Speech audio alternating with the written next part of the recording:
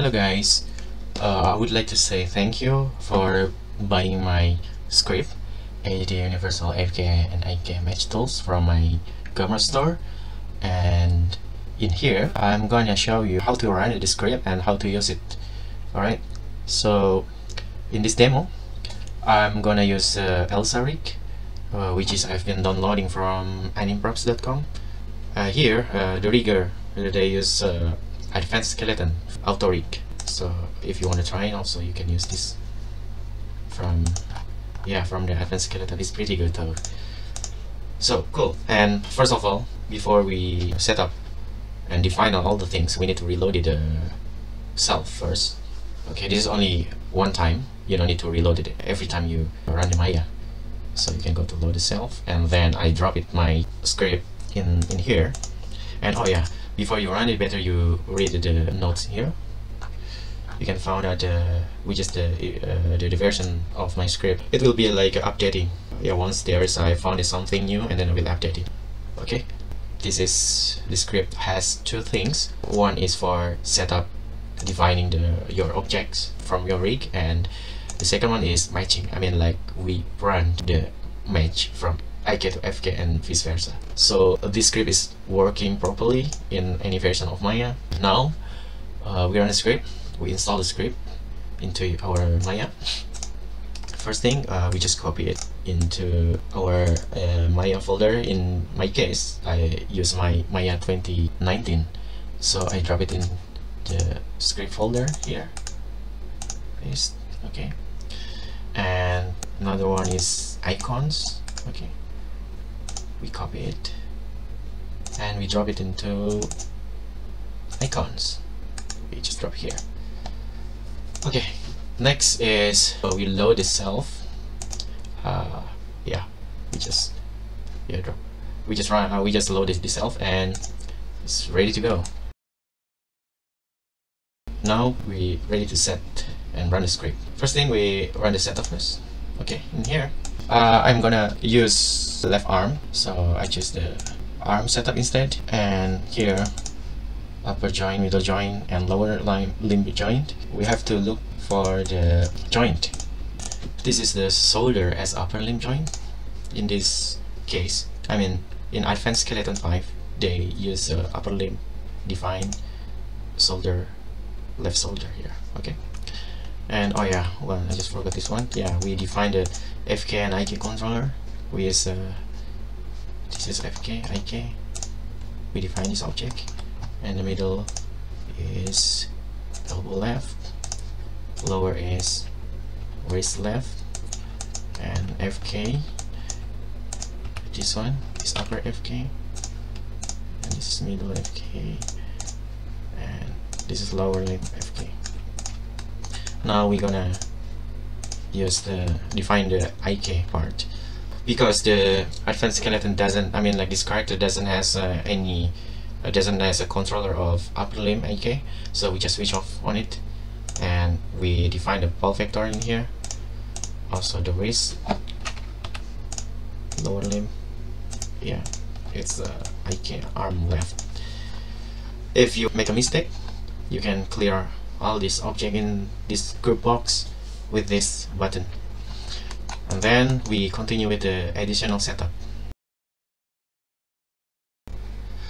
The additional setup we started from matching position first. In this case we uh, the position is left. So we right uh, we choose left side. And this is limb axis means the joint axis from the parent to its child. So in this case the aiming from parents to child is x okay. It, it, it doesn't matter whether it's a positive or negative axis so we just define it. And then we define the controller attribute name. In here in this case like uh, this name is fkik blend we have to make it right name because if we make a, a wrong input the script will be error. Okay. So the default of fk is 0 and default of ik is 10 next to is snapping uh, in this case in this character uh, the snapping name is lock okay with this pole vector controller. Sometimes the rigger drop it this lock into with the, this voice uh, controller. Yeah, it uh, depends on the, the, the rigger where the attribute for the snapping or lock the elbow. Uh, but in this case, yeah, in a pole vector controller, and we name it uh, attribute as it is. This value of is zero, okay, and when it's on, stand. I mean, this is not active and is active. Uh, we skip it because it doesn't has uh, it is for the leg and with the FK sometimes the rigger is unlock the translate and make it animator freely to move the translation of FK but in some animators also they use stretch part they add attribute instead of the translated.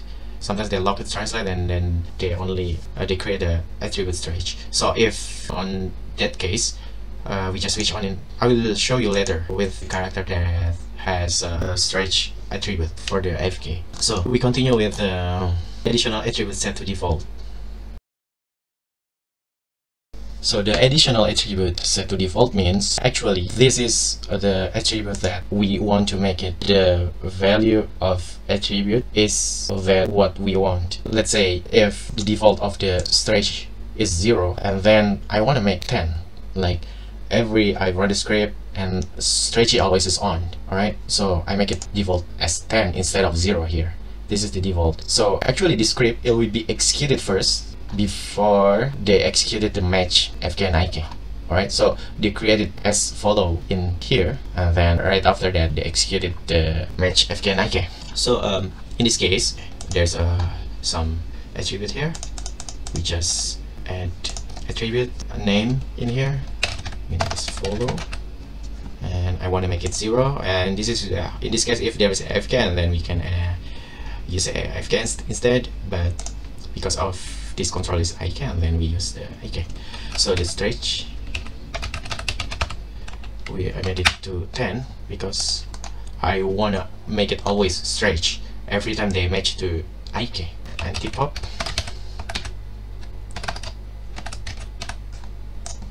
it's zero length length sorry. Zero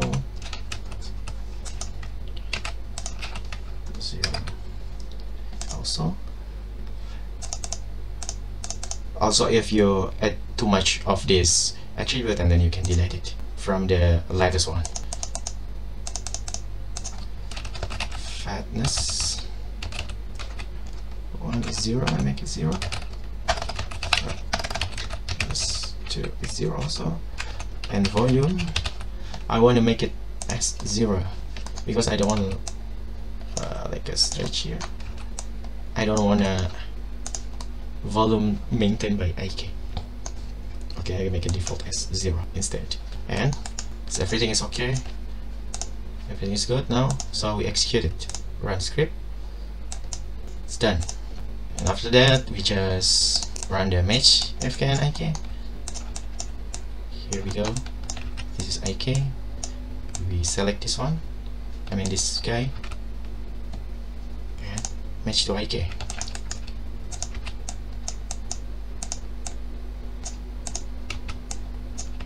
This is we match to IK. Alright. So the the elbow is locked. Actually we can unlock. Yeah whatever. You can do as you as you wish. If we didn't select the FKIK switch, uh, then it's gonna error here or if you wrong selection. Then it's also error okay? You have to select the right controller. Alright uh, I'm gonna show you uh, with the leg part.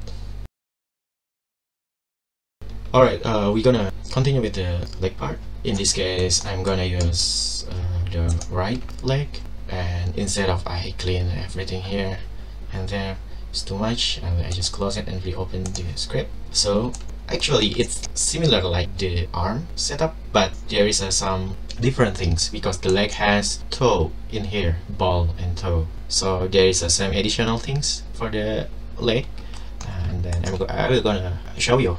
First thing, we select the FK and IK legs right switch, and we define on it. then we continue with the upper limb as hip right knee ankle and this one is toe then we select the this is the ankle lower and this is the end limb IK control okay? We define it. And then next one is pole vector because upper limb IK doesn't exist so we switch off. And the next one is FKM then define the middle lower and end. Okay the next one is additional setup so uh, we choose the right set instead and the aiming of the axis is X. The naming of controller switcher is FKIK blend default is 0 for the FK and IK is 10 knee or snap is this controller with name lock active is 10 and the active is 0 on off yeah and the next one because if it is has a controller on emblem IK so it gonna switch off on it. But if it is doesn't exist and then it show and we have to define what is the controller name and some attribute here. We'll uh, explain it later with another character alright? So in this case it doesn't has any attribute on the toe they use the ball controller IK instead. Alright, similar like the arm, it also needs to define some additional attributes set to default. We continue with the additional attribute set to default. Actually, this thing is exactly similar like the arm part before. In this case, I would like to define some attribute from the IK controller. So there is a attribute need to make a default. So in here I will define all the things. Custom attribute make it equal 0 roll is 0 roll is 25 no actually it doesn't need to order name of the attribute. It, it, it doesn't rely on the order and it doesn't rely on the, uh, the number of the attribute. But you have to make exactly same name as on the uh, attribute here. Alright? So in order to, to, to avoid the mistake so you better you change the channel names along because if you make it nice and then you you you cannot see what is actually the real name of the attribute. If you see here long name is different with a nice name or short name right? Better is the long name so make it precisely the name of attribute. And then we continue with the rock stretchy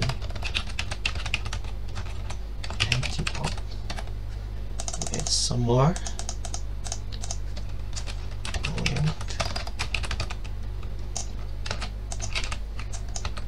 One also. I make it stretchy as a uh, 10 instead. And fatness. One is zero. Is zero. And one more thing is volume. I make it a zero instead. So we run it. Alright. Now we can use the match FK and IK then. Match to FK alright. Cool. Ah, oh, this controller let's hide. To IK cool make a stretch to FK.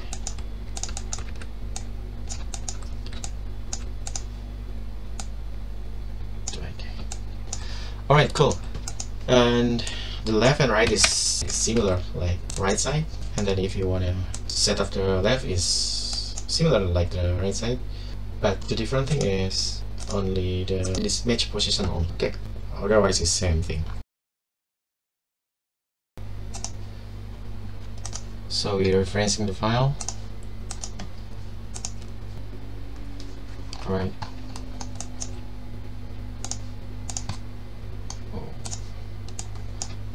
I forgot to make it default? Right but but it's okay. So um, in these tools actually we don't need to define any namespace of the character. Normally when you work with the character you really need to define this namespace but with these tools you don't need to do that. Alright also with these tools you don't need to define whether this is left or right. These match tools can read whether this is left or the right side. So one tools for all the part of the limb. So uh, I'm going to show you. This is the arm left side that we we had defined. So this is match to AFK and also this is match to AFK it's work well right? This one also it's working well